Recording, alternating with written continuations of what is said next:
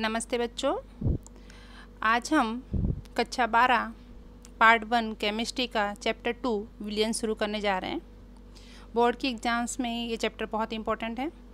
लगभग आठ मार्क का ये चैप्टर पूछा जाता है, जिसमें से तीन एमसीक्यू और चार मार्क के अलग question, seven to eight mark का होता है, कभी चार एमसीक्यू और चार मार्क का क्वेश्चन, इस तरह के इसमें से क्वेश्चंस पूछे जाते हैं।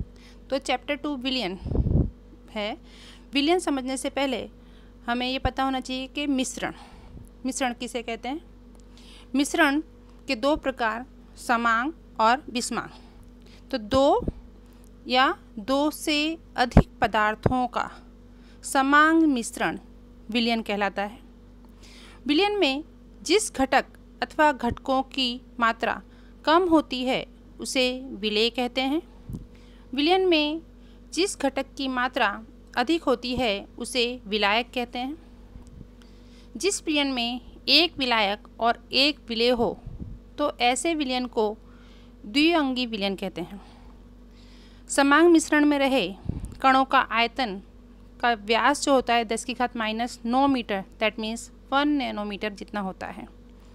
समांग मिश्रण को छानने की क्रिया, जमने की क्रिया क्वथन अथवा सेंट्रीफ्यूगेशन इत्यादि जैसी भौतिक विधि द्वारा अलग नहीं किया जा सकता है। अब हम जाते हैं विलियन के प्रकारों पर। विलियन के मुख्य तीन प्रकार हैं, ठोस विलियन, द्रव विलियन अथवा गैस विलियन। इस प्रकार ये तीन अवस्थाओं में दिखाई देता है। विलय और विलाय भी तीन अवस्था में प्राप्त होते हैं।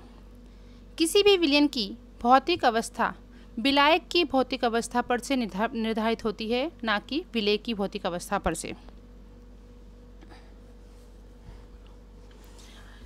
अब विलयन के तीन प्रकार, आपको ये कोष्टक दिखाई दे रहा होगा।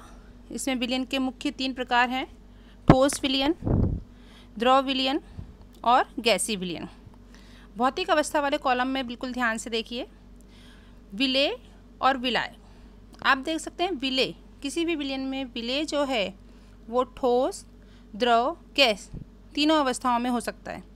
लेकिन विलायक उसी स्वरूप में होगा, जिस प्रकार का विलियन होगा। जैसे कि हमने लिया ठोस विलियन।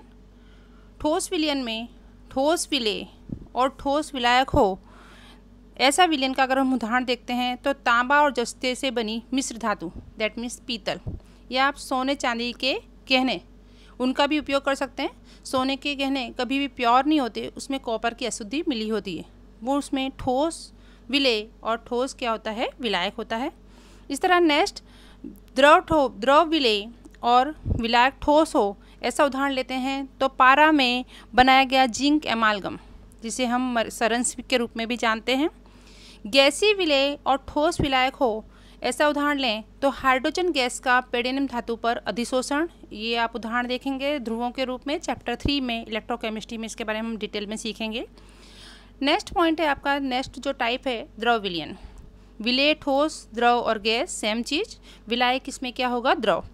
तो ठोस विलय और द्रव विलायक हो, ऐसा विलयन है, शक्कर और पानी का समांग मिश्रण। डेली अभी गर्मियों में चीनी और पानी का मिश्रण सबने पिया ही होगा, शरबत। तो चीनी ठोस पदार्थ है और पानी विलायक है ही, द्रव स्वरूप में हम जानते ही हैं। द्रव और द्रव, विलय और विलायक दोनों द्रव अवस्था में हों तो ऐसा उदाहरण पानी और इथेनॉल का समांग मिश्रण। विलय गैस और विलायक द्रव हो तो CO2 गैस का पानी में समांग मिश्रण या कोई भी कोल्ड ड्रिंक आप देख सकते हैं दैट मीन्स उसमें CO2 होता है।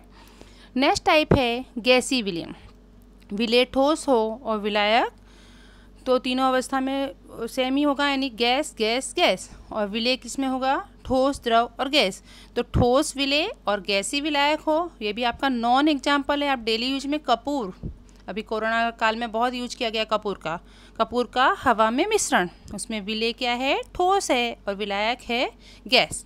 नेक्स्ट है, द्रव विलय और गैसी विलायक तो नमीयुक्त हवा। अभी बारिश में आप अनुभव कर रहे होंगे, नमीयुक्त हवा हवा में नमी होती है। दैट मीन्स पानी घुला होता है, पानी की नमी होती है तो नमीयुक्त हवा में विलय द्रव और विलायक गैस होता है। इस तरह विलय गैस और विलायक दोनों ही गैस हों तो हाइड्रोजन और ऑक्सीजन गैस का मिश्रण या शुष्क हवा भी इसका उदाहरण हो सकता है।